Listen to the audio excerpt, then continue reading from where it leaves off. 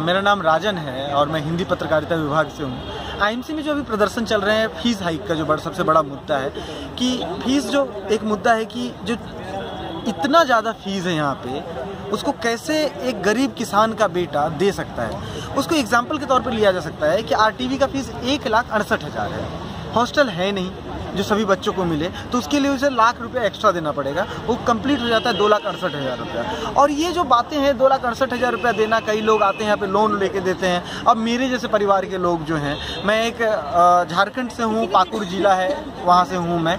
तो मेरे पापा जो है, एक ट्रक ड्राइवर है। पैसों की प्रॉब्लम होती है। तो होते होते इस कदर आप पहुँची कि अभी आप कहीं भी पूछ लो या सब जानते हैं कि मुझे मेरे फ्रेंड्स रखते हैं अपने कमरे पे। दो दिन इसके यहाँ रहता हूँ, दो दिन इसके यहाँ रहता हूँ, तीन दिन इसके यहाँ रहता हूँ। इस तरीके से कट रही है। और अब जो जैसे रीडिंग रूम हमारा खुल गया है तो पिछले पाँच दिनों से मैं रीडिंग रूम में हूँ, क्योंकि मुझे खुद ही ख़राब लगता है कि मैं उन्हें जाकर बोलूँ कि, भाई मुझे रख लो। या फिर वो खुद भी बुला लेते हैं, ऐसे कोई दिक्कत नहीं होती।